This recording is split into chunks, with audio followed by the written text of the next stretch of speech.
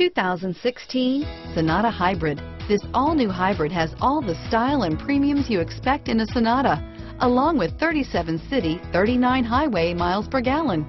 And unlike other hybrids on the market, it uses a breakthrough lithium polymer battery pack, which runs cooler, lighter, and is shapeable for optimum packaging. More power, less fuel, no guilt. Here are some of this vehicle's great options.